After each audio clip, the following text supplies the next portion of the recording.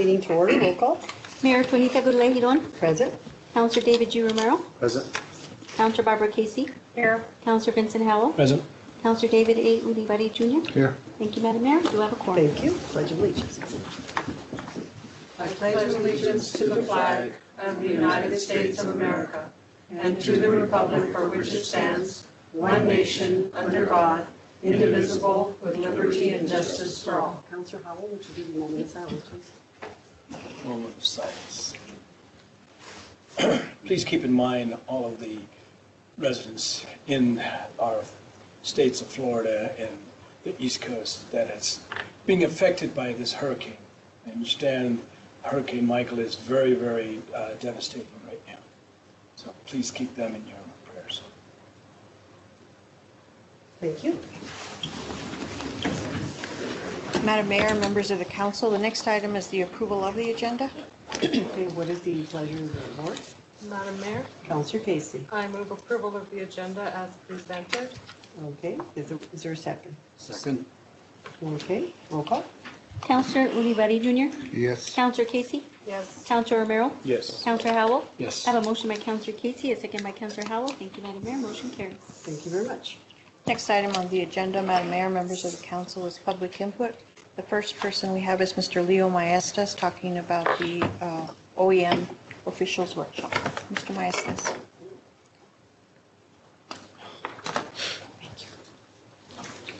Good afternoon. Welcome, Mr. Maestas. Madam Mayor, City Manager. So you all, you all know that uh, the Office of Emergency Management brings in periodically uh, classes that we administer to our first responders. So we wanted to bring in a class that was geared more towards our senior officials. Um, So this class that we're bringing in is actually being administered tomorrow. Uh, It's a very highly sought-after class. We're we're on a six-month waiting list to get it. So TEEX is coming in tomorrow to uh, uh, give us this instruction on senior officials workshop for all hazards preparedness. Um, This workshop provides a forum for senior officials to understand strategic and executive level issues related to all hazards disaster preparedness, to share proven strategies, best practices, and to enhance coordination among all community officials responsible for emergency preparedness, response, and recovery. This workshop emphasizes planning, operational coordination, and public information and warning through extensive group uh, discussions and tabletop exercises that will take place in the afternoon. Um, This class will begin at 8 o'clock tomorrow at New Mexico Highlands University, uh, in the governance room in 322. Um, It's geared again towards our elected and senior officials, so um, uh, it gives you a list there of participants of who it's geared towards. Thank you very much. That's it. Thank you. Thank you, Mr. Maestas. And there'll be, um, the, um, I'll be attending this workshop as well as other board, uh, as other uh, department head, uh, department heads will, will also be attending. It's, uh, according to Mr. Maestas, he's indicated that it's a good workshop. It'll tell us what we should do and how we should proceed with uh, emergencies and, and, and things of that sort. So we have quite a few of the department heads attending as well. Thank you. If I may just, Do you have a question? Is that- um, how long is this class? It starts at eight and it should be done by three. So the morning, it starts at eight. Uh, Eight to to twelve is an instructional workshop part of it, and then after lunch, uh, one to three is a tabletop with an exercise based around uh, an incident here in Las Vegas. Thanks. Thank you. Thank you very Oh, much. I'm sorry, there's another. Oh, I just, Counselor. I'm, I'm looking, I, I did, I think this is the, I have a certification for this already. Uh, If I do, would it help any if I give you the certificate for it, or? Either way, yeah, we would like everybody there so we can work through the scenario. It'll be, be a local, It's a Local scenario, based okay. off of- Our, uh, we were looking at different scenarios having to do with maybe an active shooter, um, uh, something having to do with the fiestas. Uh, There's been a lot of incidents where people are using cars as uh, battering rams to go through crowds, and we're using that actually as a scenario for, for tomorrow's class. for. Thank you. Thank you. Thank you very much. Thank you, Mr. Marquez. Next, the next person on our public input forum is Mr. Marshall Poole on animal control. Mr. Poole? Madam Mayor and councilors, Good evening, Mr. Um, just a brief report on, on September. Um, We took in 172 animals in September. That's average of between five and six animals per day. Uh, 103 dogs total, including 40 puppies. Um, And that's with 32 kennels. So we have an a- average daily population of more than 60 um, in in the shelter. That's dogs and then cats as well. Um, 164 of those 172 animals came in unidentified. And again, as I've mentioned in previous months, this is one of our biggest problems. We have no idea to whom these animals belong. And that makes it very difficult, almost impossible to return it to those, to those guardians. Um, And it also means that we have to start figuring out where to send these animals for now, to find home. We did return 39 of the animals to, um, to their owner guardians, because we could figure out who, who they are. Uh, One of them had to be returned twice, unfortunately, away again. Uh, We adopted 29 of those animals locally. Uh, We trapped 37 feral cats um, and sent them for spay neuter, and that was entirely paid for by a private grant from Santa Fe. We transported 54 animals to seven different agencies in Colorado. We're still having one of the agencies in Colorado Springs, uh, Pikes Peak Animal Shelter, has, an- still has an outbreak of canine pneumonia, so they can't receive any animals and they can't use, they can't transport any animals. So they are under total quarantine. And of course, we don't want to send any of our animals there because they'd be in danger. Um, 30 volunteers donated more than $300 during the month. We still have the United World College students coming over every Friday afternoon to walk dogs and spend time with the cats, which we really appreciate. Zero bite holds in September. Previous month, you may remember, we had six bite holds. So it's very weather related. So in this hot summer months, there are more incidents with citizens being bit. Um, We transported 19 citizen-owned dogs and cats for spay neuter, for low-cost spay neuter, $25. Um, And if they can't pay that, um, they, we waive that. We also transported 10 strays and surrendered animals for that same service. Um, We had one incident that's pretty unusual, but still also in some ways typical. We had one dog that, that was abandoned in a home for eight days and abandoned, locked in their bathroom and uh, had no food, no water. Um, It was in terrible uh, condition when, when we took custody of it. Um, It was, uh, we called the dog Saru. Um, Terrible wounds and um, horrible teeth and just really abandoned. And the owner was cited by animal control and had to, was found guilty in municipal court and had to pay fines for animal abandonment and animal neglect. And uh, we're trying to save that animal. We may, we may or may not be able to because it was eight days in that room without food and without water. Uh, On a happier note, um, in November is our annual Art Bark fundraiser, and all of you, mayor and council, will receive invitations to that. It's going to be at the Trolley Building on the university campus. Dr. Minner is going to be the official uh, auctioneer with his bow tie. And uh, we have 60-plus pieces that um, are really beautiful. From what I understand, they were all juried. This year a juried show, which means that three judges have to agree, uh, three artist, artist judges have to agree that these are the quality that we are looking for before it's entered in the show. And there are a number of unjuried pieces that are also donated for, for sale. So we're looking forward to that. It's May, uh, November 2nd and 3rd. Uh, November 2nd is a special um, invitation only um, reception for the artists and for donors and for other officials like elected officials. And then the actual show is on, on the 3rd of November in Colorado. So any, uh, any questions? Questions, comments? Thank you very much. We're in the Mr. process of finishing negotiating the contract with the Yes. city, and we're Of course. looking forward to that. Um, as- We're especially glad that this is, will, should be a four-year contract, Exactly. which will give us time to go out and raise more money. And uh, our vision, again, is that we need a new shelter. And uh, so this will give us some of the ammunition that we need to go out and raise money for that. So thank you for your attention. Thank you very much. Thank you, Mr. Poole. The last person on public input is Mr. Lee Einer regarding the police chief. Good evening, Mr. Einer. Good evening, Madam Mayor, Council.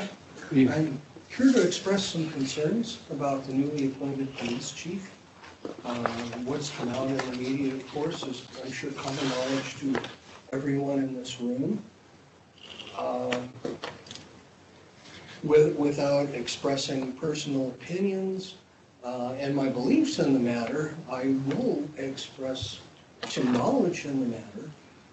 Uh, it's my understanding that city council may not have been apprised of the ongoing lawsuit against the new police chief regarding the incident on Highway 14. And you may not have been apprised before you took your vote regarding the guilty plea for uh, domestic abuse, domestic assault in 1991. And I'm perplexed by that because a background check by a law enforcement professional should at the minimum have been able to produce at least as much information as the average 12-year-old can get in 15 minutes with Google. And yet, it seems not to have happened. It seems that uh, perhaps full information was not shared with council before the time of the vote. And now, things are going to get a lot more complex potentially as um, additional news unfolds. And I'm, I'm here to ask you, first of all, to take a second look at that and ask yourselves if there's a process problem that needs to be addressed. And second of all, to support an external investigation, not a witch hunt, an external investigation that will either clear the police chief in a credible manner and protect his reputation, or if it goes the other way, protect the community. Thank you. That concludes our public input. Madam Mayor, members of the council, we'll go on discussion items. The first item is the Department of Public Safety grant for Las Vegas Police Department Street Crimes Unit for overtime, confidential funds, and undercover vehicle maintenance. And we have Mr. uh, Deputy Ken Jenkins to present.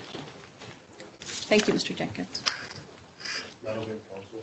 Good evening. Um, this, these monies originally, I want to say it, it, it, uh, the application process started back in the last fiscal, um, fiscal budget.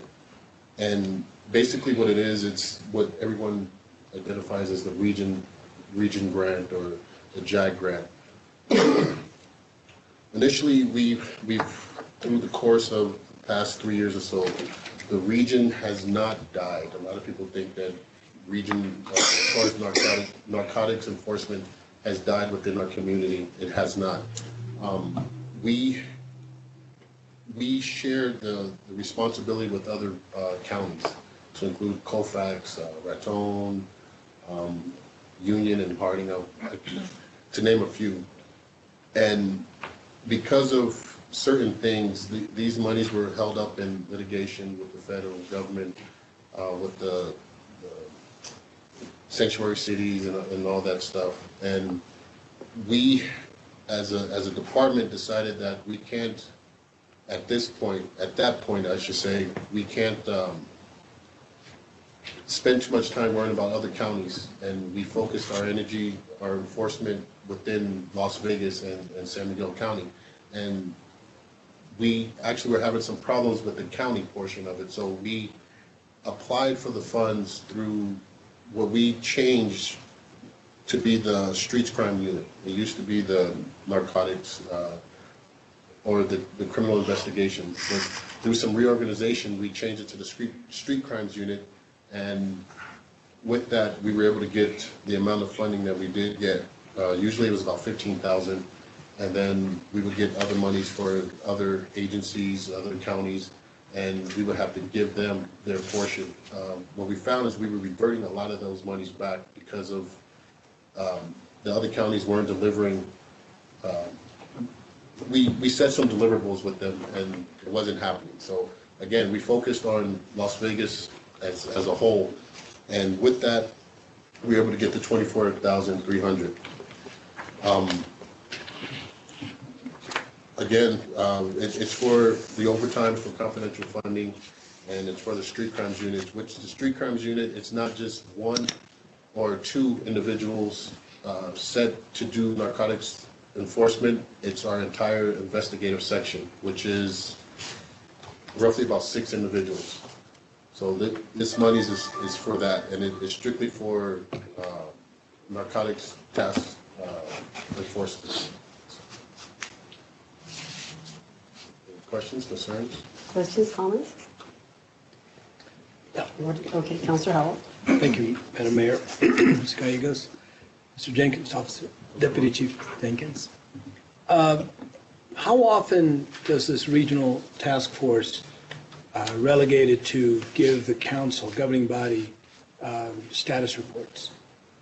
We do reports, we, we're providing, we provide, our agency provides monthly reports in reference to narcotics and uh, criminal investigations, calls for service, things like that. To the So, governing body or to um, we administration? provide To, Prog- It would be part of their progress reports?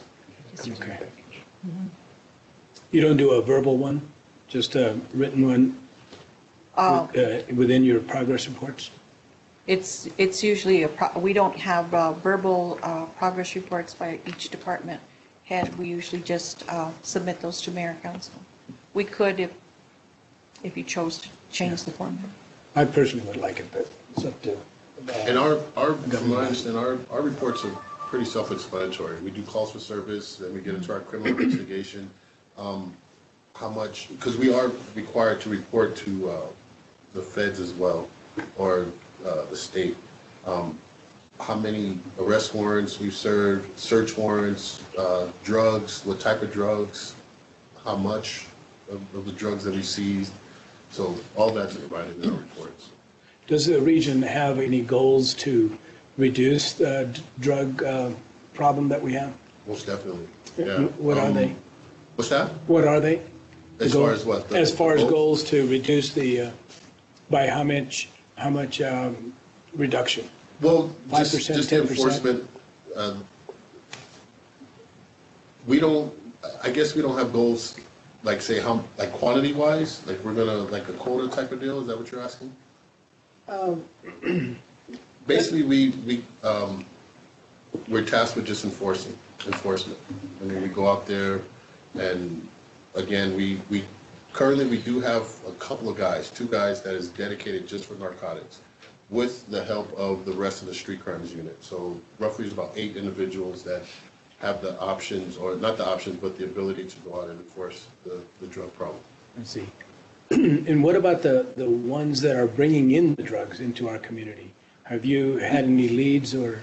Yes, um, we do have an an MOU and we have some agreements with Mora, Mora County. Um, We're, we're working to get, uh, we're, we're working to expand back to the concept, the, the original regional concept. Um, Right now, we have uh, Las Vegas, San Miguel County, uh, Highlands, and Mora. And we're trying to expand further out, so. But again, the, the biggest, the main, one of the biggest issues that we have is the cross-commissioning uh, with the sheriffs. And as you guys know, Chris is, uh, Chris Lopez, interim chief, he's, he's already on board. And we're actually looking to implement another agent with, the within the county, strictly uh, narcotics task force. Great, thank you. Counselor Casey, do you have a question? I just wanted to point out to Counselor Howell that the scope of work is listed in the contract that uh, is in our packets. And it does say, you know, one operation per month, 80 felony arrests. That's the goal. Mm-hmm. And then fif- 500 grams of narcotics seized to include meth, heroin, crack, cocaine, powder cocaine, 50 pounds of marijuana, live plants, 40 firearms seizures. That's the goal. It doesn't mean that that's what will happen. It just depends. They mm-hmm. may have more in some areas and less in others, depending on the drug trafficking that's taking place. But they, they do have measurable goals here so mm-hmm. that they have something that they can um, aim for. And again, the street crimes unit is not strictly just uh, narcotics. We do have two narcotics agents that, that's their focus. The street crimes can do a little bit of everything. So, I'd just like to hear um, comments about this. That's, that's why I asked. Okay, I got a question. uh, Counselor Lewis. Mr. Jenkins, uh, is that like the regional board, like the, uh, what you're working with, or you're, it's nothing like that, or it's, Say again, I'm sorry? it's like the regional four? uh, I can't narcotic understand. agency? The region, regional, Oh, Region Four, yes. Region four. What about it? I'm sorry. is that almost the same thing that you, what you're putting together?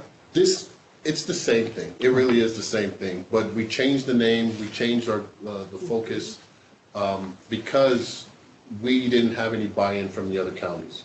So organizationally, we said, let's stop worrying about the other counties right now, and let's just focus on Las Vegas. So that's why we developed it as a street crimes unit. And that's, when we submitted the grant, um, the application, we utilized the street crimes unit to get the monies. Thank you. Counselor, um, Clement. So- So, Mr. Jenkins, so pretty much what we're hearing is that some of the other counties weren't doing their part, so we were actually having to send some of that money back because there are goals that they should be meeting and they weren't, so is that where, Basically, yes. okay, Yes. just make, yeah, I'm- that's what I got. They, just making yeah, sure. they, they weren't, we set deliverables Yes. and they weren't doing anything. Um, When the application process came up, they were asking for equipment, they were asking for, you know, all sorts of things. Grant came out, they, they get that stuff and we weren't getting anything in return. And then when it came time to, you know, we were having to send the money, go to the, the DEAC meetings and having to revert monies and it was kind of getting embarrassing, being that we are the fiscal agent. Good, jo- good job, I just, I mean, if they're not doing their job and money gets lost, I mean, better focus on ours and, and so, thank you guys. And for then we, doing are that. like I said before, we are branching out again. I mean, right now, Mora's on board, and we're hoping to, to branch, uh, branch out a little further north, to Raton and everything else. So we're, we, we are in communication with those. And um, and I, and again, going back to, I know Counselor Howell's question, and I have a brother-in-law that's, that's, uh, Uh, work, works with APD. Mm-hmm. And I know, you know, just in conversation with him, that, you know, I know there's conversation, you know, even from mm-hmm. APD to, to the local police department, you know, so it's not just, you know, we're just focused here, you know, if there's big stuff happening there and it comes here, that communication is happening no matter what. Counselor Howell? Thank you, Madam Mayor. Uh, Deputy Chief, the, this problem has been going on for a long time, uh, the drug problem that we have here. Um, Are you in the Region 4 or the uh, Street Crime Unit involving uh, citizens that are willing to sit down with you and give you feedback um, in regards to what they see out there? Or or is there a committee of um, citizens that are, are working with you? Believe it or not, that's probably one of the hardest things, is to get the community involved in drug enforcement. Um, I think the biggest fear is retaliation, obviously, but we do have um, means of anonymous phone calls or tips or anything to that. Um, Currently, we are trying to implement more um, PR, I guess, to where we're trying to get out there and just talking to people, saying, you know, what, what would you like to see differently done in the, in the community? Um, A lot of times people are willing, but most of the time they're not. Are you going into the schools also to Always. do the Always. public relations on that? Always, always. Yeah, because that's where we need to start anyways, is the young ones. And then, um, we're still on board with the opioid stuff, uh, even though Chris is gone, I'm, I've taken the helm on, on promoting that with- as far as representing the city goes. So We're, we're still on board. Good, thank you. Okay. Any other questions? What is the pleasure of the board? Consent? Consent? Thank you very much. Thank you. Thank you. Thank you, Deputy. The next item on the agenda is Resolution uh, 18-42, request to continue support of the Amtrak Southwest Chief Passenger Service through Las Vegas, New Mexico, and we have Ms. Virginia Marijo to present. Good evening, Ms. Marisol, how are you? Good evening, Mayor, Council. Good Evening. So today I wanted to present to you um, Resolution 18-42, basically supporting Amtrak and the Southwest Chief. Um, Recently, Amtrak was undecided if they wanted to keep Southwest Chief. It was looking like it was going to go into a bus service, um, which thankfully that didn't happen, and a lot of it had to do with um, DOT not being able to clean the streets over in Raton Pass during certain hours, which would affect uh, their scheduling. So they are keeping the Southwest Chief for another year.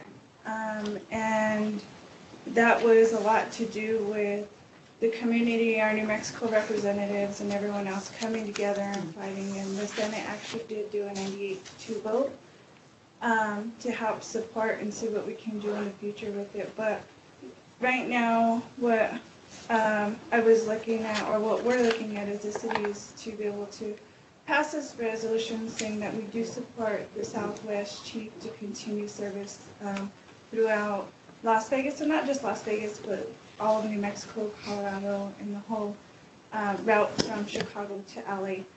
And, right, we did, there was a waiver that was done for the FY19 fiscal year, so that's until October 2019. However, we still have a lot of work to do to continue it even past 2019. But the resolution is a start to say we're on board to support and keep the, tra- the Southwest Chief running through Las Vegas. Thank you. Questions, comments? Just have Counselor some- Casey? Just, uh, the fifth whereas.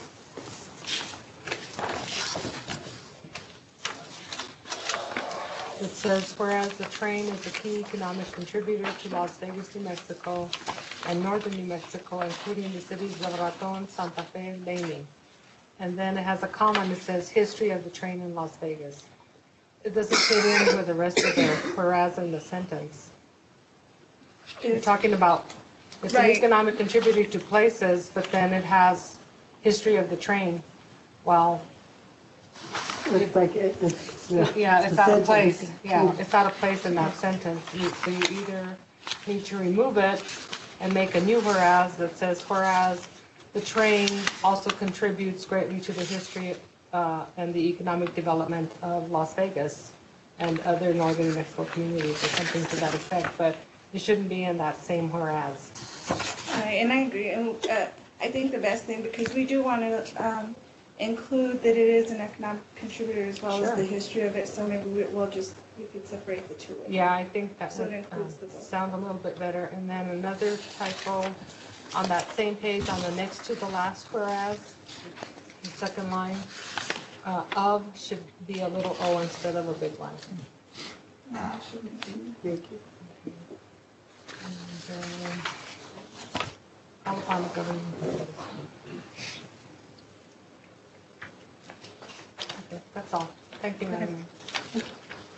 Any other questions? Uh, Madam Mayor, I just have a question as Councilor to where the direction for this resolution came from. Was that you or or Madam Mayor, did you? Actually, um, it was myself. Uh, I was contacted by a lot of people to put together, one, a support letter, which I did, and we sent that. And then now, in addition to that, the other communities have adopted resolutions in support of Amtrak, so. Okay, And and the reason why I ask, and I don't, I mean, I don't want to, you know, fight over this issue, but on July 11th, I sent you an email requesting this resolution. This was back in July. Well, we, I've been sending out letters for two years now. But the resolution is Yeah, is the is what I had asked. resolution, uh, the resolution came after the fact because we were waiting for other communities to put through the resolutions, and I will put it through. I thought at the time that the staff, again, also had the time to work on all these things. But yeah, I've been working on the Amtrak issue initially for about three years, and then as mayor for the last two and a half years. So uh, the re- we had different resolutions already, but, and I appreciate that you gave me your input, so I always take that into consideration. But of course, I also have to take the um, the staff time into consideration as to when we can put things on the And, agenda. and it's a good thing, I just, Yeah. I just bring that up as, you know, No, we're no, we've been October and working then on it's this. a few This months is nothing later. new, and- Councilor Romero. This, No. I've been at this for three, three and a half years now. If, if I may, Madam Mayor and Council, um, Councilor, what, um, Mayor is saying is correct, she's been at it for a while, but I've also followed this even before coming to the city, Exactly. so coming So in. what state officials have you worked with? It was, when I was working with the Chamber of Commerce, we were actually working on a program, um, to save the Southwest Chief, and that was about two years ago as well, yeah. So it's been an ongoing process, but about a year ago, um, around the fiestas time last year is when we started having this conversation of how to support. And the reason we brought the resolution now was because, um, what was happening was the representatives, the mayors, the, all the New Mexico representatives and everybody was getting together to figure out how we could do a resolution that, um, all the cities and counties and everyone can bring, uh, to the table and we're all kind, uh, consistent in some way as well and we're not bringing um, different resolutions with different topics, and that way it'd be easier when we do go, you know, to the state or as high as up as it goes, um, even up to the presidency, that it, it all comes together in some kind of. We were looking at consistency within the resolution, although if you look at the Albuquerque resolution, it's quite extensive in comparison to ours. And then that's, that's one thing that I wanted to add, if we could, you know, just a suggestion, of course, you know, it's, it's up for discussion, is uh, the investment at Main Street and also Ellen, uh, I don't know how to say it. Affeldt, you know, those investments that, that they have made, I mean, you know, I think that's some, something in there, in here that it- we could add those, those into the the Uh, resolution. I think that uh, we will be getting away from the uh, resolution that supports Amtrak if we include that, because Ellen was there, we discussed, and um, this is about Amtrak. This is not about Main Street. Main Street has their own resolutions that we acknowledge, but I think if we put it in, it might take away from the Amtrak No, resolution. no, no we're just saying that we support. support it because of the investments that have been made here in Las Vegas. Well, essentially, also, uh, Alan was there during the presentation, but I don't know if we, we should put that in there. I think that, that was the purpose of coming up with the resolution with, um, everybody, like I said, all the New Mexico representatives, other citizens. 'Cause I, I spoke to Heinrich's, And- I- Heinrich's yes, and then office, we- and that's what they suggested, and in that email that I sent you, it's Mhm, sort I of saw what I- that one, but still. What I had sent, and I'm just, See, because Main Street gets a lot of the funding from us, so it's still the city of Las Vegas. But you're talking about the real, you're talking about the historic district. That's entirely, and tell me if I'm wrong, sole and separate from supporting the Amtrak funding. However, But I do see a solution to it that we could do instead of specifically saying Allen or specifically mm-hmm. saying anybody else. Yeah, I We mean- could include it as part of that whereas in the history of the train um, in, in Las Vegas, New Mexico relating to the historic. because of the district. investments Yeah, that have been historic made into the preservation. community, and that's, I'm- I'm sorry Tie if that's into the way the it Railroad sounded. Yeah, District. into That's a that good sense we idea. can. Yeah. We could tie it into that, but it'll be careful with the names. Okay, and I, that's not what I meant, I just, you know, the Yeah. investments itself, I Because mean, we, I don't think I'll need more. No, he wouldn't want his I name know on him it. too. so just the Okay. investments that have Okay, been so- made, and if we lose that, those investments. Okay. Councilor Hall. I I also uh, agree with uh, Councilor Romero in that if um, legis, um, Senator Heinrich had requested that through uh, his email, I think that would be a a plus for us to include it in there. And that's a good solution, what we was And we've been working, I've been So- working with the mayors from, you know that. right? from- Yeah, and that's an easy solution because it does include everything. Go ahead and work on it. We won't, I would suggest we don't put it on consent so we can review it before, and if there's anything else that we need to change, we'll do that. Okay. Good. And, if I may go? Yes, of course. Uh, Also, um, I I know you had um, briefly talked about our trip to Lamy. Uh, Lamy had. I was uh, gonna let you do all this. oh, Okay, well, if you're going to do it in No, you're gonna do it, Okay. because I know you like this, so. Yeah, well, uh, we did make a trip to Lamy. I think we represented the city of Las Vegas and San Miguel County. It was the mayor, myself, and uh, Virginia. Uh, that- also and- Yeah, that was my next, uh, and uh, future Commissioner Harold Garcia was there. And we spoke on the, sup- our support to the group uh, about um, trying to keep the uh, Amtrak service going through uh, our town and up to Raton and and up to Chicago. And um, I think there was, there was over 100 people there. Um. And uh, Allan Affeldt was there also. And we spoke, uh, during that time, uh, we recognized Mr. Alfeld in regards to his investment that he's making, both in the legal tender at Lamy and also um. Castaneda here. So um, it's really good. I think the officials from Amtrak and also the officials from uh, Department of Transportations were there, and they re- realized and recognized what we said out there. So um, it was good, and um, I'm glad we went there, so. Yeah, uh, uh, and councilors, mayor, um, during that meeting as well, the nice thing about it is not only did we have, um, the, our representatives for the city of Las Vegas, the DOT, the Amtrak, but we had the other ones, uh, the, uh, Mayor Webber from Mhm. Santa Fe, um, Anna Commissioner from Santa Fe as well, and so it really brought everybody to understand that we're on the same page when it comes to supporting the Santa And I spoke with uh, Mayor Webber, and he really is interested in collaborating with Las Vegas in regards to uh, economic development. So um, we need to really sit down with him. I've been working with all of them. Good. It just takes time. Mhm. We, we got this far, we finally got the resolution. So, but it's, we- we've been working real close to you. But thank you, Councilor Howell. Yes. And thank you for being my honored guest that day, I surely appreciate it. Any other questions? Okay, uh, I would not suggest we put it on consent. We'll bring it back and then review it. If there's anything else you want to add, look at your resolution. Just the investment part, Yeah, just of the course. one that, investments that have been made in our Okay. community, I think. That's fair. Thank you. Thank you. Ms. Uh, Next item on the agenda, Madam Mayor, members of the council, is to award RFP number 2019-02 to Animal Welfare Coalition of Northeastern New Mexico for animal services and shelter operations.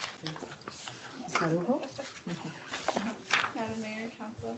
Um, So we did put an RFP out for the animal shelter, um, animal services and shelter operations.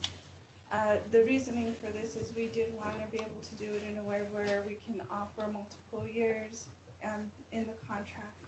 So that whoever is awarded the RFP would have the advantage of being able to get grants. Um, it- They have a better chance of getting grants as far as infrastructure and anything else that they need. So we did put the RFP out. We had one offer who submitted, and that was the um, Animal Welfare Coalition of Northeastern New Mexico. And so today we're here um, meant to get mayor and council's approval to go ahead and award them the RFP. Okay, questions, comments? Councilor Howell?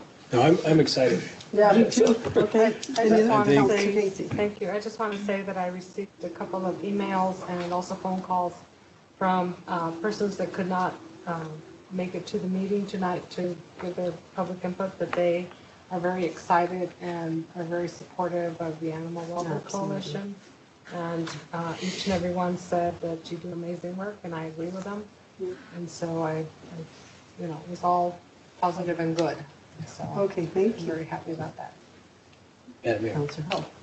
Uh, One more thing, I think, I think Mr. Poole should start a um, capital fundraising um, pro- uh, initiative here. And I think you'll, you will see that you will receive tremendous amount of support. Uh, Once that um, capital fundraiser initiative is worded properly and um, distributed properly, I think you, we're going to see, realize our new shelter um, within the, uh, the contract time period, so. So it'll be good. That's our vision as well. Right. Councilor Romero, Good. any questions? No. Anybody? No question. I want to commend you, Mr. Poole, for taking this program and making it a great program. It was a good program, now it's a great program. And I also want to commend the staff, uh, Anna Gallegos, our city manager, and also Virginia Marujo, our community development director, Levi, all of them for working with you. Uh, Tina, you guys have really stepped it up.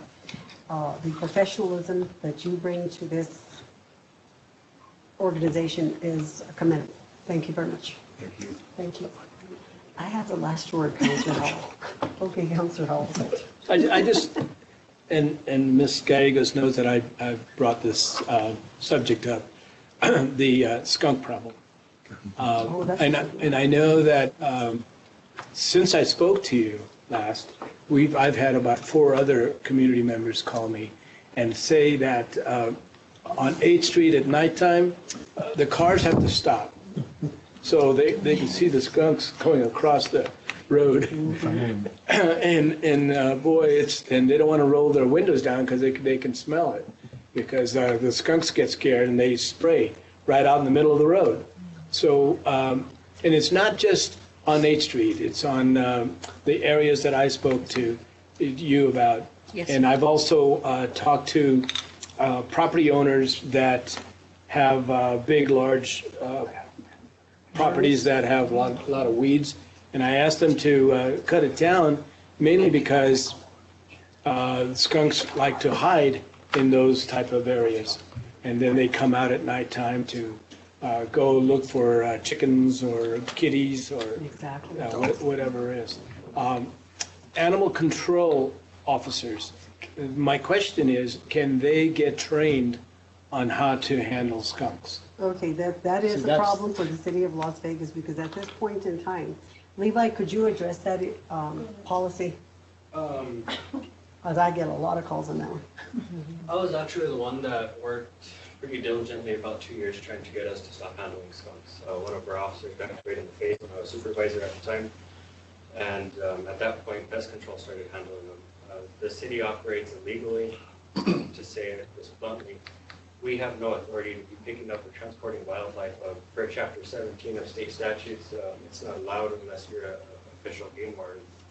Um, Us transporting them, we have no no contract with anyone, any private property lands, no one's gonna want a skunk on their property, so the only way that we'd be able to dispose of them would be to euthanize every skunk that we picked up.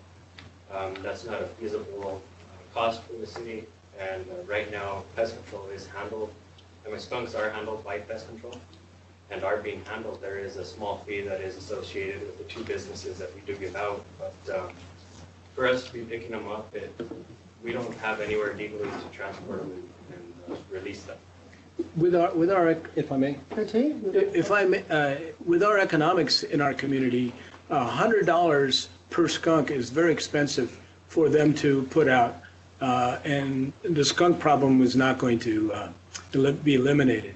I know that five years ago approximately, uh, we had a contract with the county and the city where, uh, someone from, I think it's the game warden, um, officials would come down from a different county and set the traps along the uh, areas that we um, notified them that there are a lot of skunks. And then uh, the skunks would get trapped. They would come and pick up the skunks and take them wherever. Uh, I don't know what they did with them, but uh, that helped us out. But then apparently our funding ran out. And I'd like to see if we can uh, take a look at, again, how both county and us, if we can bring them together to talk about this issue. Because it's not just in the city of Las Vegas, but it's in the county also. Yes, That, sir. uh, Um, The pest control companies that we are referring out to are Elite Pest Control and Diamond Pro. Um, I know their general cost per skunk is fifty dollars, and that's with uh, total setup of the traps removal and relocation.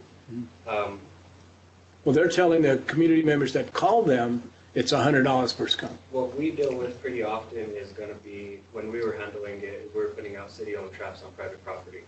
Uh, Skunks are pretty much nocturnal, they're only gonna be moving at night, so an animal control officer would hardly ever uh, make contact with the skunk during working hours unless it's a dead one. Of course, the animal control officer will pick those up, but um, we came into the liability of private property owners stealing cages, damaging cages, or them saying that uh, city employees were going onto their property trespassing, or they were causing criminal damage to property while they were on there. So it opened up a lot, a lot of liability for the city, as well as the cost that you're seeing. uh, The citizens are having to pay a pest control company right now. The city was faced with those costs when we were going through the traps. And uh, honestly, officer safety as far as dealing with animals that could hold rabies, and as well as um, them being sprayed or ruining clothing as well. So the question still lies, what are we going to do? I mean, the, the, the um, um, problem still exists, and it's not just a one or two, but it's families and, and uh, of skunks everywhere. I, I believe there's underlying issues to skunks. Um, it's, there's always gonna be wildlife. Um, when there's a drought, bears come into the city limits. When there's a nuisance lots, accumulation of solid waste, you're gonna see skunks and, uh, those, uh, right now, the city it has a lot of nuisance lots throughout the property, and it is code enforcement's job to take care of it. But um, honestly, right now, I have my plate full. Um, How you said overgrowth of weeds, that's gonna attract skunks. Uh, Accumulation of solid waste, that's gonna attract uh, pests and vermin. So um, I think getting a better hold on code enforcement, uh, maybe an extra officer to assist with uh, the petty things as far as the nuisance code ranging from unsanitary premises, I think you'd see a change in the skunk problem. And then, of course, um, possibly working with the pest control companies, um, offering our traps or something to lower the cost uh, could be a possibility. Can we subsidize the pest control companies?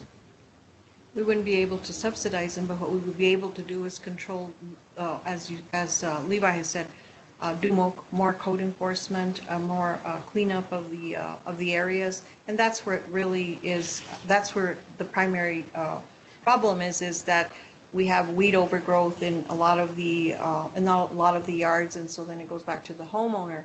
Um, Now, what we could do is work with possibly the, uh, the uh, Coalition Animal Control to see what else we can do, what we, what else we can and cannot do. We have three law, uh, code enforcement officers at this point, and I think they've been on for about a month. They're uh, doing a- a- an awesome job. They're getting uh, trained in both animal control as well as code enforcement. That'll help Levi a lot. Uh, But for now, it is a $50 fee for, uh, to trap a skunk. Uh, I believe that that's one of the, one of them is $100 and one of them is $50. And so that would be the only thing that we can do uh, currently. Now, what we can do is uh, try to work on a long-term, uh, long-term plan and bring it back to mayor, council, and put all the parties together.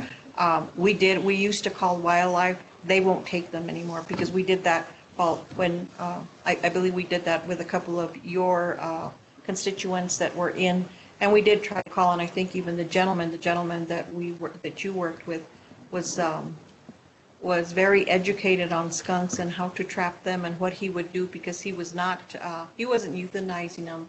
He was really setting them aside and setting them, uh, setting them free. But he was doing that on his own because he had so much overgrowth on, in his area.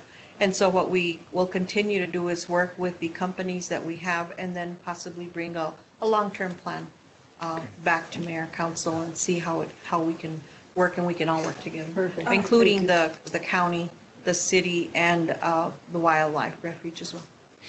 Did I, did I hear uh, you, Levi, say that you are still needing uh, more help, even when you have the two? They just started, uh, right now they haven't really been trained in code enforcement. They are going to be dual, dual role or dual trained. Right. Um, right now, there's a lot for them to learn in chapter one eighteen, which is the animal code. Um, as soon as they learn that and they're sufficient in that job, then they'll transfer, um, duties over to code enforcement as well. Okay.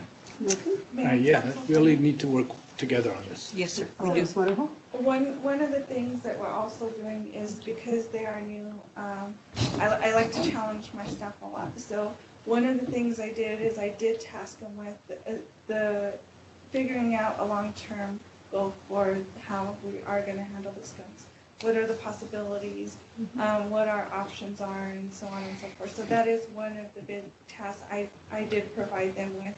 So they are currently doing all that research to figure out what we can do in the long term. Okay, thank you very much, Councilor Casey.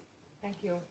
At the risk of being laughed at, uh, I'm going to tell you how I handled the skunk problem when I was the superintendent in a very rural area and had no money to buy, to purchase uh, services of, you know, professional pest control.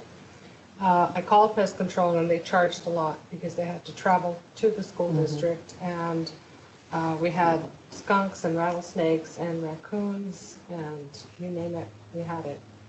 And so they said, uh, we can't help you because you don't have money. And they said, but we would suggest to you that you buy uh, mothballs or moth crystals and put them around the areas that you don't want these uh, animals to come into. And so I did that, and it really works. They got rid of the rattlesnakes, because I had rattlesnakes in the playground. I had skunks that were uh, living under uh, the storage shed that we had. They got rid of every animal, well, I didn't even have spiders. They all, every, every animal just left, and it was wonderful. And so uh, it's very cheap. You can go to Walmart and buy a box of moth crystals for less than five dollars.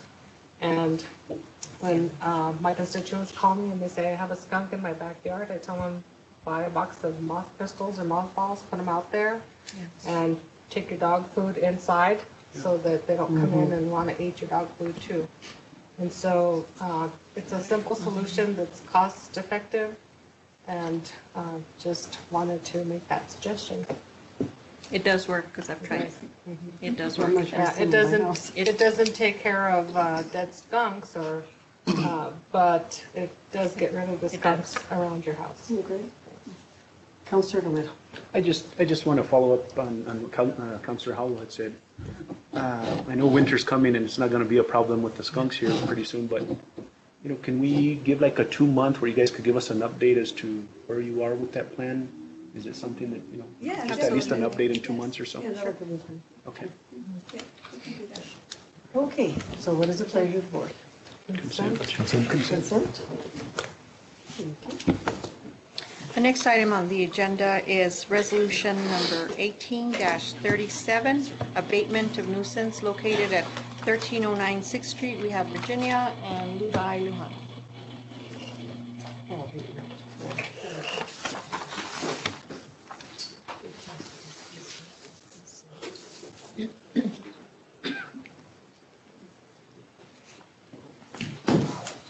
I'm pleased by the mayor, manager. If you could give me a second, I'm just gonna get this on so I can give you guys a brief presentation of this resolution. Have you grown? Yeah. He looks taller. Yeah. He just cut his hair. It's a boot. Boots. New heels.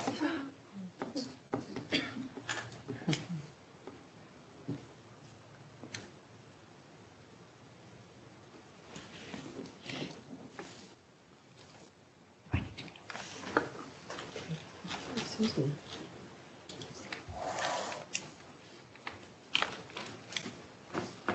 If I may, I'd like to hand these out to you. Um, They're gonna be the red tags that all the notices that were sent out to Mr. Dalton, the property owner of 1309 Sixth Street.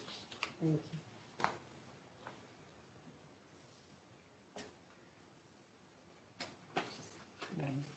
If I can just uh, Mr. Lujan, were you going to have a Yes, sir. pictures of, okay. just- Yeah. So this resolution is eighteen thirty-seven. It's, um, this presentation is just gonna be a brief summary of, uh, the work that was done out there by code enforcement. The property is owned by Robert Anthony. Uh, right now, the property has several nuisances on it, including accumulation of solid waste, uh, unsanitary premises and uh, hazardous premises. The neighbors are starting to, notice insects and vermin coming from the property due to that, that accumulation. So I was first notified of this property around April 16th of 2018. A letter was sent out to Mr. Dalton. This was informal from the abatement process. This was just to give him a chance to voluntarily comply. This letter gave him 15 days of receipt, of receiving the letter. Uh, The letter made him aware of the accumulation of solid waste that was uh, starting to accrue on that property. The letter was sent certified mail, and it was also uh, hand delivered to him, and I spoke to him at the property when it was delivered. Uh, This were the pictures after I didn't get compliance on that day. I went out there on June 20th of this year and started a red tag process on it. Uh, These pictures were taken the same day that a, uh, that um, the red tag was sent out. Is there any way I could raise that?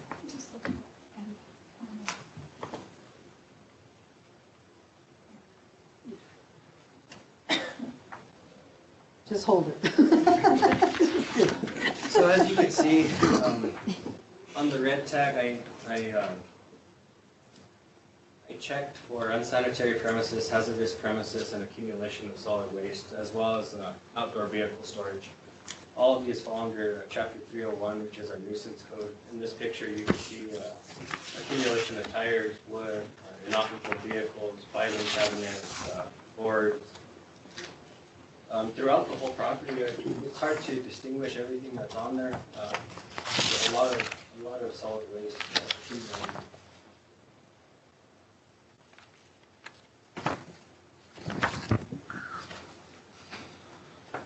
And um, since this picture, because I drove by there the other day myself, since this picture, he's actually accumulated a lot more in the front of that yard. Uh, He's it- it accumulated basically more? goes- Yeah, it basically goes halfway through that property. So, um, those are the first pictures I took of the property when I initiated the abatement process on it. Um, The red tag was sent out, how I stated, June twentieth, and it allowed Robert Dalton twelve days to come into compliance or to start abatement of his nuisances. Um, How Virginia just stated, no compliance was made, and he he actually accumulated uh, quite a bit more onto that property. Um, These pictures are gonna be of when I went out there on July twenty-fifth. Um, He removed some and he added, he added quite a bit. Um, We're getting calls from the adjacent property owner that he's also putting solid waste on their fence and on their walls um, to just store it. He has clothes out there. Um, Yesterday that I went by to take my final pictures, it was raining, nothing's covered. His solution to me telling him about these violations was that uh, he was having a yard sale. Um, So he put up an open sign um, as you go into his yard. But here as well, you can see that a lot of the, none of the solid waste was moved. Um, You could see Mr. Dalton and a few others sitting there when I take my pictures. Um, He kind of showed total disregard to, to uh, me asking him to comply.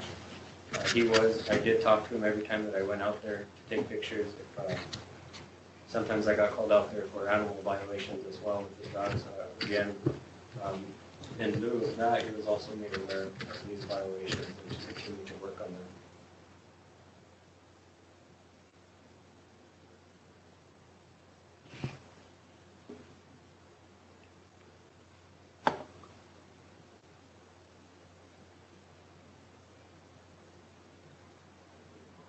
So the second red tag was sent out July 25th, the same day that those pictures were taken. Uh, Again, he was made aware and he was given the documentation of the violations that he was uh, violating municipal code.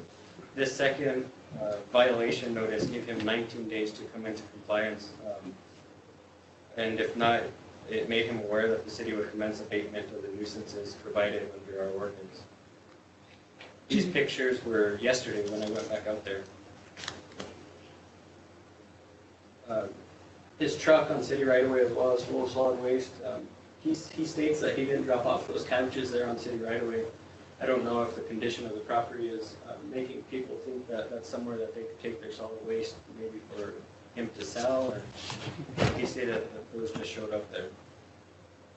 And how you can see these barrels are starting to come all the way to the, almost to the city sidewalk. Yesterday while I was taking these pictures, it's raining, there's uh, clothing out, nothing's covered, being protected. um, Eventually with that as well, there's going to start to be a stench odor as well. That's that open sign that we put up now.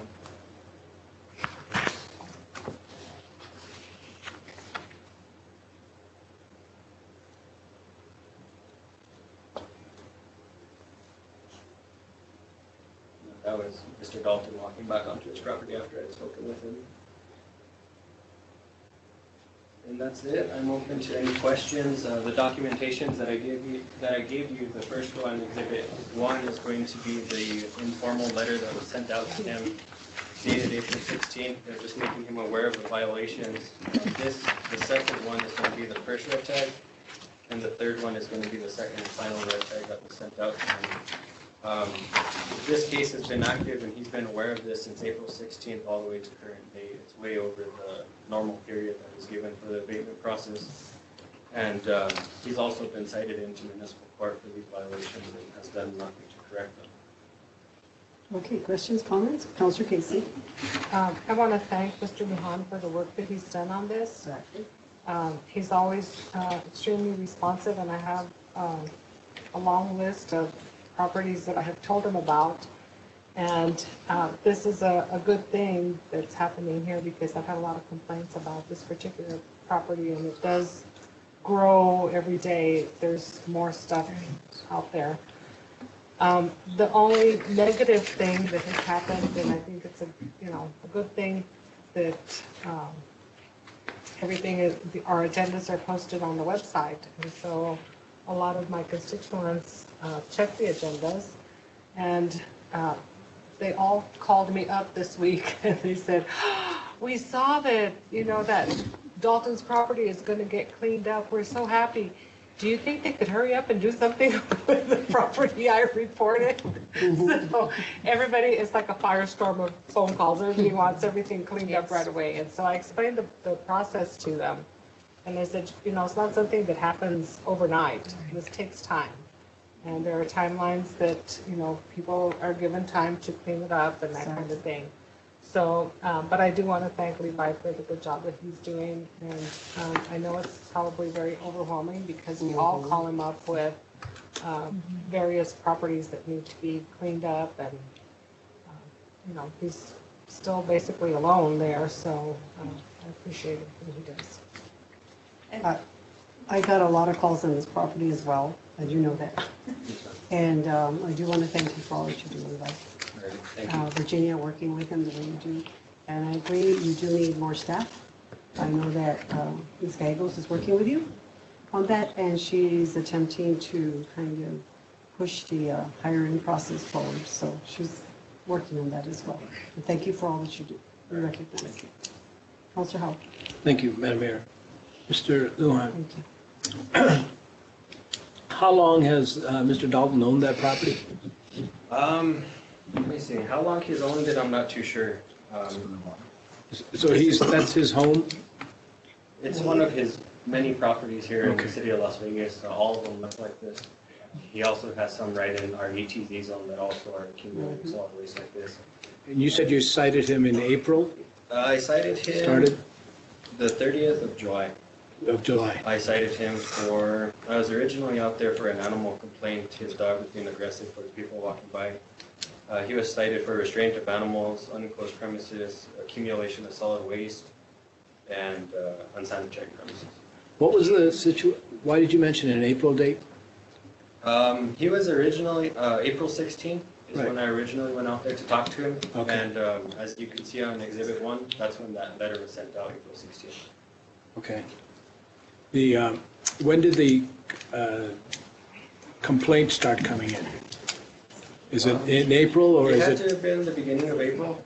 Um, Usually I'll get out to my complaints within a five-day period of receiving them, so I'm saying any, uh, anywhere in the beginning of April before the 16th. Okay.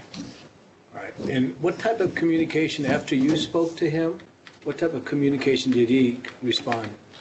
Um, Did you have an actual conversation Yes, or? sir. Um, I don't believe I'm knowledgeable enough to understand what Mr. Dalton um, sees on his properties, but he doesn't see it as, uh, as a majority of people would.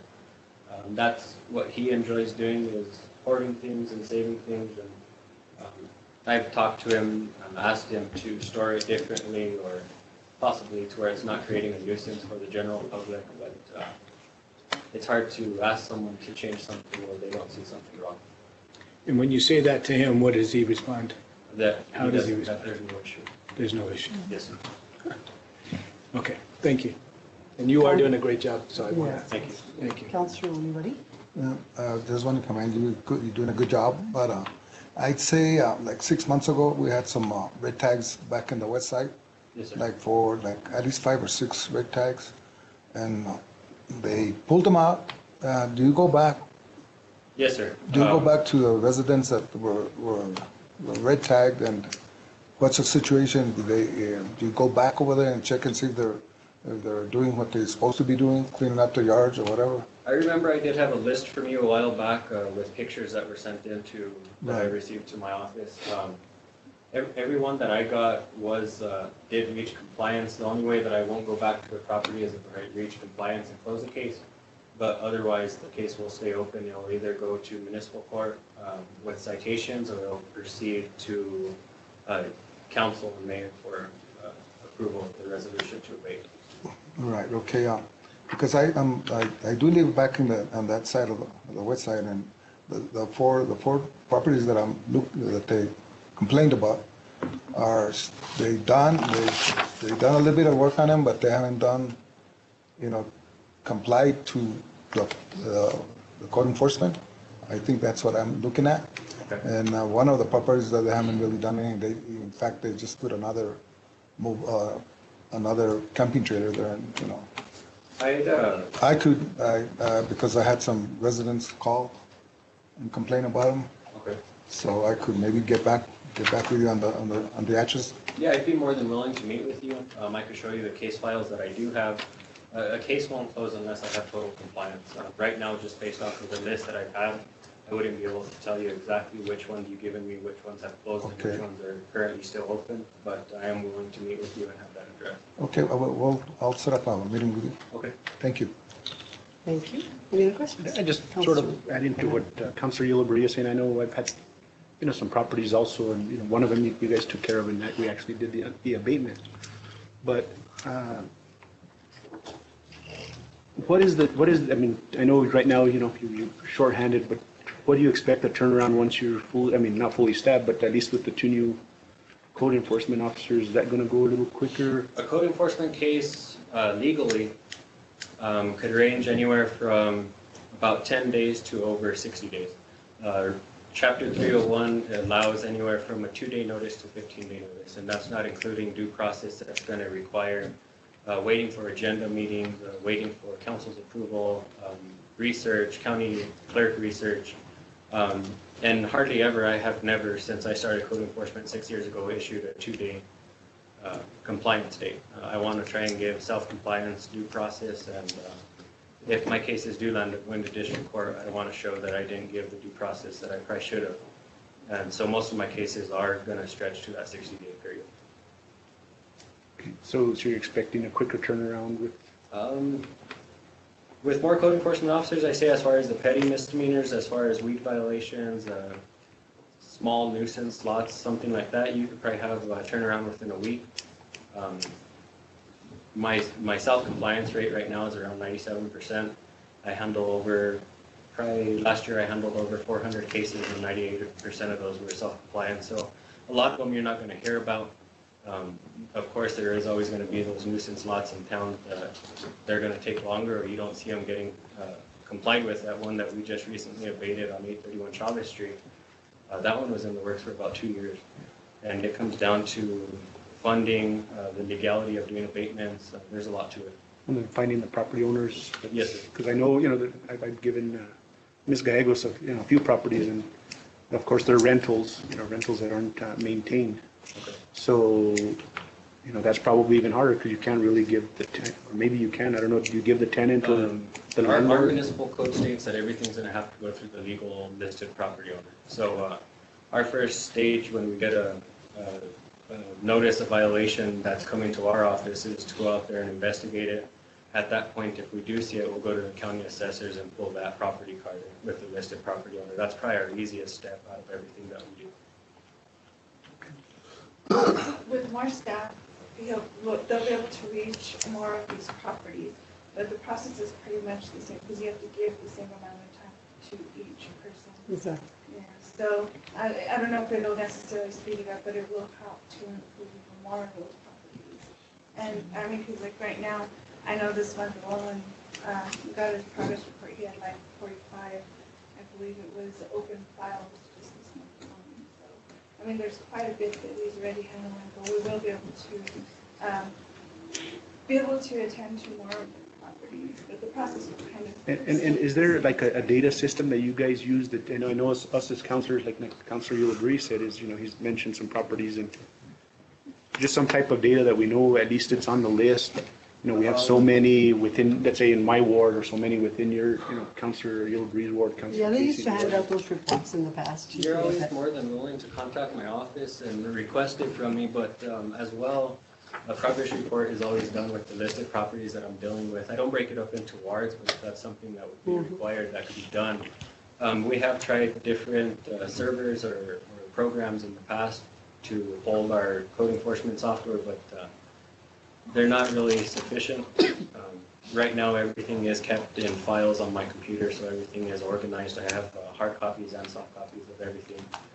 Um, But as far as if you ever need an update or anything like that, feel free to Just so- reach so- me. sometimes it feels like we're sometimes overburdensome, maybe to the city manager, where No. we're, you know, you know, and then, and I know, you know, they have so much on your plate, you guys have so much on your plate, and we, we don't want to become that burdensome, but at the same time, you know, we want to know. And I see where you're coming from. A lot, a lot of what I could say right now, and it will be changing because we have these two other officers, but um, a case like this is going to require quite a bit of office work, so you're not going to be out in the field. Um, With having three officers, I could have myself or someone else dealing with the abatement process, which is going to require a lot of legal work, uh, meeting with city attorneys to get the resolutions approved, um, my red tag notices, uh, county assessors, and then I have people out there issuing uh, municipal citations for petty uh, weed violations to where they could appear in court and the judge give an order and have a turnaround within a week. Also, he does provide a list of, um, with the monthly progress reports to everyone. He Yeah, does the ones provide that a are- list of all of them. So if anything, what I could do is include them with the progress reports. that way. Um, can give him And, and the last question would be the legalities. I know, you know, this, this property here, the, the property owner we've had, you know, the city has had issues with him in the past, and I think there's been, uh, you know, lawsuits versus the city and stuff like that. Uh, Ma- Madam Attorney, uh, you know, we're okay with this, uh, everything was followed. You see any pending litigation against us or no? From the documents I've received, um, I don't foresee any legal problems. I could say that this case is probably going to go farther than a lot of might have. Um, I do see Dalton, as a property owner for our ordinance, he does have the right to appeal council's decision. So he can come up here and uh, have a hearing with council to fight this. Um, At that point, uh, it could go all the way to district. And that's what I'm sort of Yeah, so, envisioning in this. um, I make sure that everything that I do, I'm confident enough to hold it in district court, so. Exactly. Thank you. Okay. Mr. Duhan, now, uh, uh, how do you, how do you, uh, it- not- I, I know you're shorthanded on your your workforce, whatever, but uh, say you're, out- you have your code enforcement out there, the west side on the, around the city, how do you determine if they're nuisance or the, the properties are bad, or do you guys take a look at that, or, or do you have to get input from the, from the uh, citizens, or? The way a code enforcement officer is hired as is anything that could create a menace to the public health, welfare, or safety of the public. Um, That's, we have a section 301-6, it ranges from unsanitary premises, hazardous premises, lit- littering, uh, accumulation of solid waste, uh, outdoor vehicle storage, inoperable vehicles, uh, dangerous structures and buildings. Um, A lot right now, um, a lot right now is complaint basis. Um, I have 45 cases open right now, and they're all complaint calls. None of them have been uh, self-initiated, I could tell you that. Um, With other officers out on the field, you can have them driving around. If they see a nuisance, stop and start a case on it, but right now, I don't have that. Okay, what is the uh, pleasure of the board? Oh, Councilor Howell. Aye. Thank you, Madam Mayor. Mr. Lujan, um, th- three areas. Uh, First area, uh, do you know who cleans the, the uh, acequias behind 8th Street homes? I don't know if anybody can help me with that. It's gonna be property owners. Oh, Behind Well, they're, they're, the acequias behind 8th Street, all the They, homes. they hire certain individuals, the Acequia Association does, to clean out some of the acequias. I know the Acequia Madre, um, uh, Councilor Olivarillo, your brother, used to clean them from the Acequia Madre. I'm not sure if it went all the way up to 8th Street. I'm but not sure. He handled a portion of it, but I know that there's money that the acequias have, where they actually hire someone to clean up the acequias. Okay. But I'm not certain that Because- that's part of the Acequia Madre, because the Acequia Madre is further down. So it might be, uh, that Acequia hires someone. So the other Acequias, what's the Acequia over here by where I don't know. Mr. Alvarez is at? Uh, is it the, was it the Rom, the Romero? I think it's.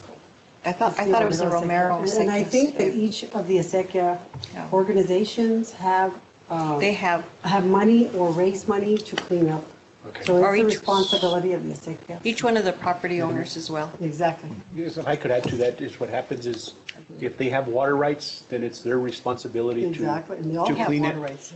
Well, there's some, like I know the acequia behind our, our, our, our place, is mm-hmm. we don't have water rights. Yeah, those So are we don't have the sold, yeah. responsibility. So the Acequia, Has. you know, the, the, their board, you know, is the res- responsible to clean that area. But if you're a property owner and you have the water rights, then it's your mm-hmm. responsibility to. The reason why I ask is, uh, Yeah. property Yeah. owners are calling me and saying that the the cleaning rubbish, the clean rubbish that they clean out the acequias is against their property. So that's why uh, they're wondering, who does that? Well, that would be the property, the, um, The acequia. whoever does the The cleaning acequia should dispose of it as well. Okay, all right. When you're right, your family sold those rights under Second point, um, the, uh, right behind, I I know I've spoke to you, uh, Ms. Gallegos, Yes, sir. in regards to the rocks that are being against the uh, fence line of the housing authority. Um, Community members are telling me that kids, kids go out there, they climb those rocks, they, and they're afraid that skunks are going to be there, and they also are afraid that uh, uh, vermin or whatever uh, can go out there and harm the kids. And they want to know who put those rocks there, who's going to get it cleaned up, and uh, why are the rocks still there? Because it's been uh, a a long, you know, more than a a month or two. The last, Problem. I think the last conversation, Councilor, uh, Madam Mayor, councillors, was that you were going to find out who the property owner was. You, we, you were going to contact them. I told you I would be glad to contact them as well. And so you and I can talk a little bit more about that if you'd like. But that was where I thought we had uh, kind of uh, agreed that we were going to find out who that property owner was in order to, and I believe it was the same property that we had talked about. And, and I'll, ju- I'll get together Mm-hmm. Yeah. with you. I- I'll be Okay. glad to. I But I, think the property that we talked about is the one across from uh, Was it- Collins Drive, uh, with the weeds, but not the, But- we, we also talked about the rocks, but. we uh, did, we did But talk we don't about know that. who the property owners are, uh, unless it's the uh, paving company. or And they- if I'm, uh, if I'm given a description, I could, I could find the property owner and Okay. initiate a process on it. Councilor Romero took some pictures. Are you going to yield the floor to Councilor Romero? Well, no, I was going to ask him a question. Councilor Okay, I'll Romero. the floor. Well, I also brought up, I'm the one that also brought that up to you. Yes, you And did. that was actually on housing, uh, the housing authority property. And if you remember, I think I asked the housing, uh, Ms. Padilla, uh, you know, and they said that they would, they're waiting for the fiscal year and they would clean it up. Right, But And, I guess that's a question that we could, okay, I'll follow through with that. Okay. Okay. I think that's it. Thank you. Was cons- I really do. Okay, now what is the pleasure of the board? Consent. Five and four. Good. Thank you. Thank you very much. Very informative.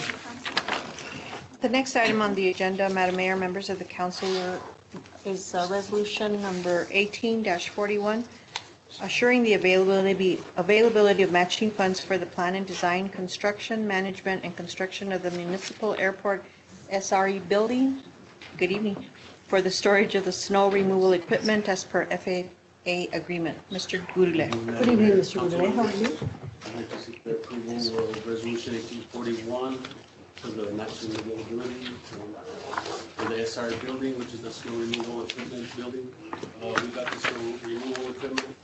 And we, according to FAA, we do have to house it when it's not in use. And we do have to extend the building because it doesn't fit. It's a really big machine. And we can use salt on the runway, so it has a sweeper, which is pretty long. So. Questions, comments? Uh, Councilor Lee. Uh, I'll yield, let me think. This, uh, Madam Mayor, members of the council, this is uh, another grant by, from, uh, that was distributed to the City of Las Vegas by the FAA um, organization, the uh, the federal FAA um, organization. Um, They've came, come in with a total project cost of approximately 89000 Uh Our match is uh, $8,100. And we do have those funds available uh, for the airport, and therefore, everything is in order to, uh, to um, have the, uh, the storage built for the snow remover. That was actually purchased, that was actually uh, purchased by FAA as well. Okay, good. Councilor Romero. So I guess my, my question is, I know this is just for the, you know, to make sure that funds are going to be there, you know, the city's portion, but so there'll be the bid- a bidding process, will that be handled by us or by the FFA or how? Um, once we get the approval, then we'll go ahead and put the bids. So we'll do that, or I know, No, we usually have our, our engineering, um, firm do it. Mm, Yes. Which is the most important, which we're using, and they'll go ahead and, we'll start the process that way. So it's for planning, designing, and construction, correct? Yes. Any other questions? Yeah, I'm Councilor Howell. Thank you, Madam Mayor. Mr. Gurley, hello. Um, The snow removal equipment, is that going to be used by any other department? Uh, Or just- For FAA, we can't, they can't lend it to anybody else. They can't It has lend to it. be used in the itself. Okay, all right.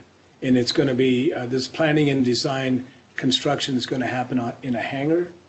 No, it's, Uh, uh, or they another- do have the snow equipment removed, the, the building itself. Building. They're just gonna extend the back of it because I it see. doesn't fit in, it's fit in it right now. There's no Okay. way to actually put it in there. Okay, They'd have to take it apart and separate it. good, good. It, it's as wide as a runway, I see. and it, it- so we would, no one else would be able to, uh, To make use use of it. Exactly. It'd be a wonderful machine to use out here, to clean the streets in one. In one, in one sweeping, in one sweeping, yes. But we don't, we won't do that, that's not allowed, so. One, one other point, uh, maybe it's a little bit off tangent, but um, I, I understand that Mr. Billingsley got the go-ahead to get his hangar, or the hangar that he's been wanting? No, uh, Or- we are still going through the process of uh, the city attorney reviewing uh, his, uh, his proposal. His proposal? Yes, sir. Okay. Do you know how long that's going to take?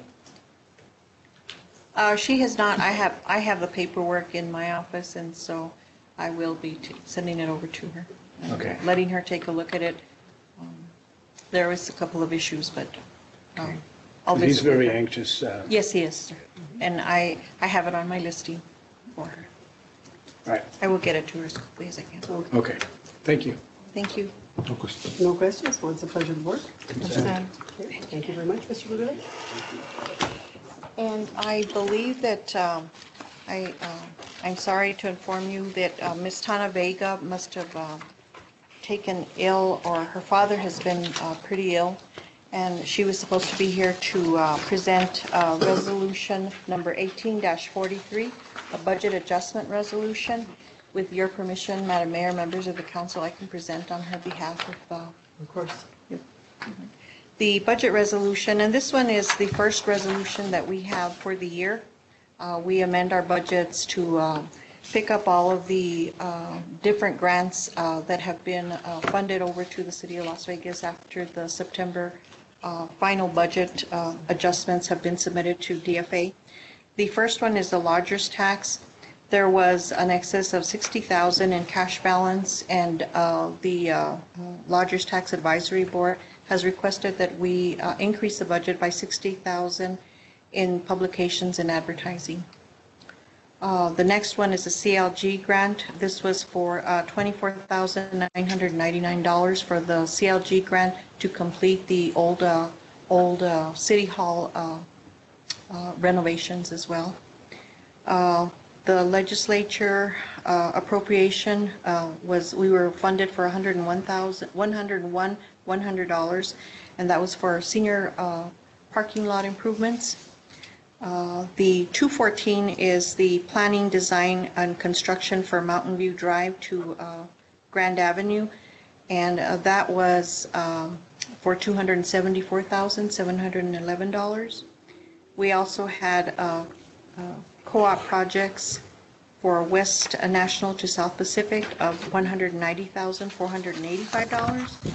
And of course, the design of West National to South, uh, to South, uh, to the South Grand Avenue, uh, to South King Street and West National, to Southwest National, uh, and that was for $33,611.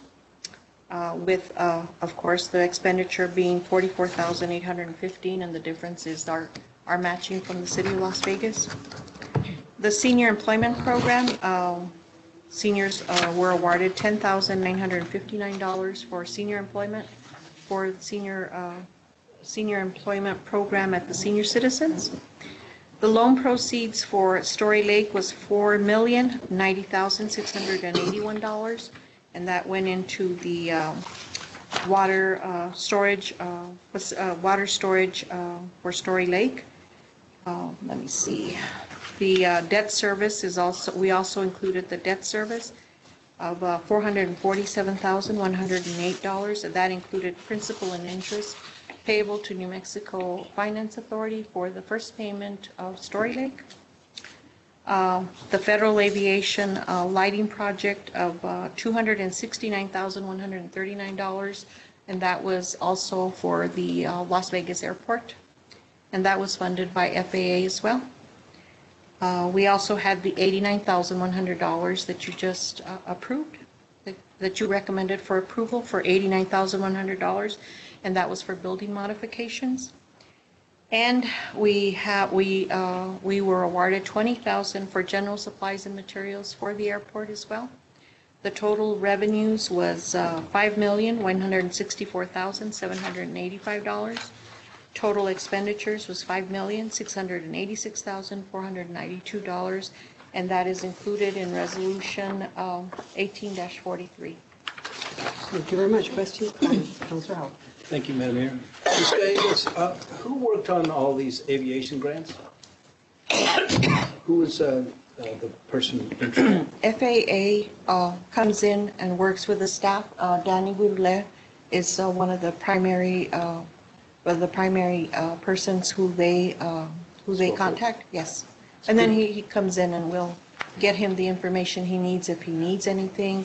Uh, We'll review his resolutions, yes. um, But FAA is the one who actually comes in and uh, uh, has, uh, does inspections on the airport and then recommends different projects for us. Mr. Gurule works with them to. to Absolutely, get sir. this. Oh, yes, sir. Great job, Mr. Gurule. Thank you for getting this done, because we really need that help. Any other questions? I had one, one question. Councilor On the 60,000 from the carryover, the cash balance, Yes, sir. how, how was it that uh, the Lodgers Board, request- I mean, how- that they're, they're the ones that get the 60,000? They don't get it. It's the lodger's tax, um, it's a lodger's tax uh, budget. Uh, They're the ones who recommend to mayor and council what, uh, what, uh, what kind of budget they should have. They come with their recommendations to mayor and council, but they uh, go through the, their advisory board Uh, first. And I want to say that they're, they serve in the advisory capacity. Yes. So if the council doesn't feel that what they're funding or their request for funding is justifiable, then you also have that authority to say, well, I don't support this. Well, and that's, that was my next question, Yes, is sir. to, if you have, I don't know, maybe Ms. Marujo, you know, if she had a sort of a general idea as to that 60,000 for publication and advertisement, just some ideas so we know, you know, where Absolutely. that funding will go. Yeah, so, um, Madam Mayor, Council, uh, they had made, uh, budget suggestions, um, in the beginning, when we were doing our, our, um, when we were doing our budgets. And one of the things that they had did is they were recently paying about two hundred to two hundred and fifty thousand dollars to the firm. And since we no longer have the firm, what they're doing is they're suggesting we spend at least, at least the sixty thousand in the advertising. So for example, that's gonna go towards, um, any other grants we get, like maybe through New Mexico True or Flex grants, any of the billboards, um, all, um, most of the advertising, website and other things that we're currently doing in-house. So instead of spending the entire $250,000, they've actually broken it up and said, okay, well, staff needs to have at least the sixty thousand dollars, you know, for the advertising and marketing and such. And, um, and then they also broke it down, you know, for nonprofits and infrastructure and so on and so forth. But that sixty is part of the percentage that they had recommended to council during the budget. Okay, so The way I understood is that 60,000 was going to be used for publication and advertisement. Is that, so it's not, it's going to go for other stuff too? Well, it'll go uh, mostly for any of the marketing publications. Advertisement is. Yeah, they're all tied into the publication. Billboards and different things of those. And they were just waiting for our cash balances to come, in our final cash balances to come in, and this is why the 60,000, there was 60,000 in additional funding that wasn't uh, spent last year, that was just carried over to this year. The cash is already in place. All they were trying to do is place it into uh, publications and advertising. And I'm just wondering the priority, you know, the the the carryover, this, you know, the 60,000 versus, I know, you know, we had Mr. Lujan say they need some help, part-time help. I'm just, you know, trying to, to balance the need. But You can't touch the lodger's tax fund. That's separate. You can't pull that money and put it into. But it's general coming from the fund. cash balance. The cash balance from Rogers Board is what you're saying? No, Yeah. it comes from lodger's tax itself. Exactly. Yeah, Oh, lodger's okay, tax okay. is used It's a different tax specifically fund. for certain purposes such as. And it's designated by, infrastructure. by law. Okay, I thought, okay. Yeah. I thought it was coming from, the It's only 60,000 was coming from the general into. No, no, Okay. no, no. Okay. That's I get it. totally I'm different. sorry. It used to be in, in in I the get it. contractual services of the lodger's tax, and now it's going into the actual publication we have, since we no longer have to pay those contractual services to it. Okay, I'm sorry about that. That's okay. I'm sorry, I- I'm sorry, maybe I didn't explain it. Okay, yeah, that's what I was, I was wondering, okay. Councilor Miss Virginia, I think I can pronounce your name, first name better than I can pronounce your last name. I'm sorry. Um, Just, just one point. The Lodgers Tax Board meeting uh, is scheduled for November 6th, I believe, and that's the uh, day of voting. So there's some concerns there. Um, Just, just FYI. Oh, So there's early take a- voting. What's that? There's early voting. Yeah, I know, but It's only an hour usually. I'm just, just letting you know. Just- Thank you, That's- Councilor Howell. Um, And I'll bring that. to We'll bring their that up, attention yes. and see If they don't want to reschedule that to. Okay. Because we haven't Thank you. quite yet put out the publications that it. Okay. Thank you, Councilor Howell. Okay, thank you very much. No other questions? What's the pleasure of the board? Consent. Thank you, Madam Mayor, members of the council. Uh, Next is executive. I believe we have uh, need for executive session, correct? Uh, Madam Mayor, members of the council, yes, we do. We have a need for executive session on both A and B. Okay, uh, I need a motion to go into executive. Madam Mayor, Council Casey. I move that we convene uh, into executive session for the purpose of discussing personnel matters as uh, permitted by Section 10-15-1H2 of the New Mexico Meetings Act and MSA 1978, and also for matters subject to the attorney-client privilege pertaining to written or printed litigation in which the city of Las Vegas may become a participant as permitted by Section 10-15-1H7 of the New Mexico Open Meetings Act 1978. Do I have a second? Second. Roll call. Councilor Romero? Yes. Councilor Howell? Yes. Councilor Casey? Yes. Councilor Ulibarri Jr.? Yes. Have a motion by Councilor Casey, a second by Councilor Howell. Thank you, Madam Mayor. Motion Let's carries. convene into executive into the city manager's office, correct? Yes. Okay.